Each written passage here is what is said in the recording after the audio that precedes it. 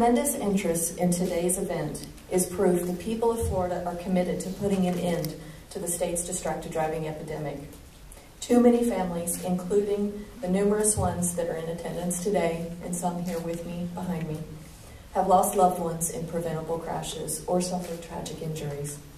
And we're going to take the momentum from today's event and chart a path forward to keep the roadways in Florida safer from further crashes. I want to thank USAA, the Florida Department of Transportation, and Shriners Hospital for Children for holding this event and helping to generate more awareness on the issue. The Distraction Advocate Network wants this summit to be the first of many opportunities for us to learn from one another and work together. Through our website, we have specifically launched a page for Florida for people to share, for us to share the videos of the event and the materials provided, we want to provide a central hub for sharing these resources, tips, different events being held in the state so that each of the individual groups and organizations involved can work together in a more collaborative way and achieve success. I would like to give a special thanks to Secretary of Transportation Ray LaHood for his passion and commitment to this issue of distracted driving. He continues to honor our loved ones' memories with his efforts and working with home over the last four years has really been an honor. Now, I would like to introduce Dr. Lawrence Vogel, from, the Chief of Pediatrics from Shriners Hospital for Children, Chicago.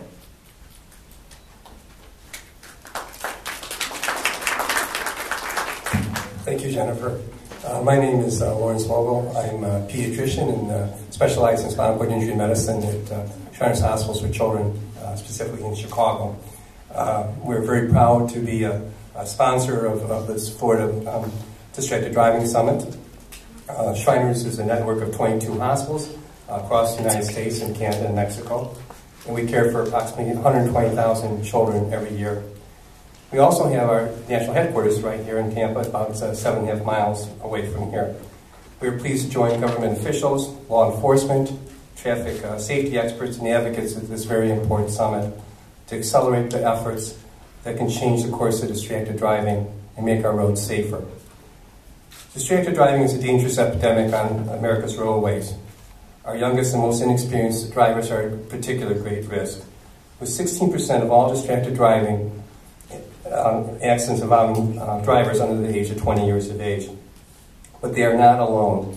At any given moment during daylight hours, over 800,000 vehicles are being driven by someone using a handheld cell phone.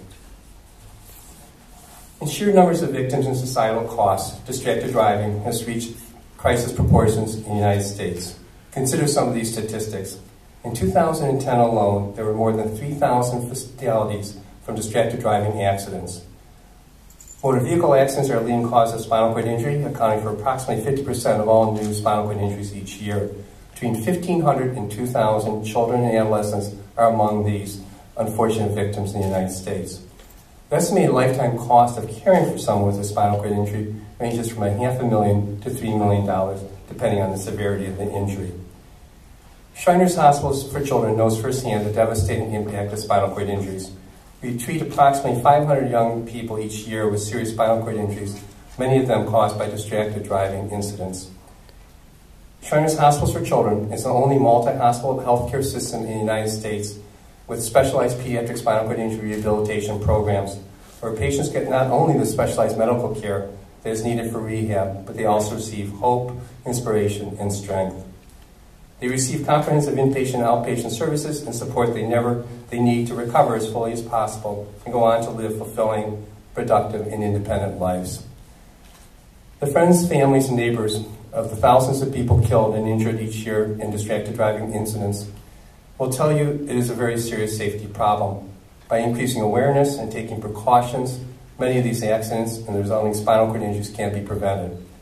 As a world leader in pediatric spinal cord injury rehabilitation and management, Shriners Hospitals for Children is committed to preventing these traumatic injuries through education and advocacy of safe driving. For those concerned with the quality of life of young people, distracted driving must become a primary concern.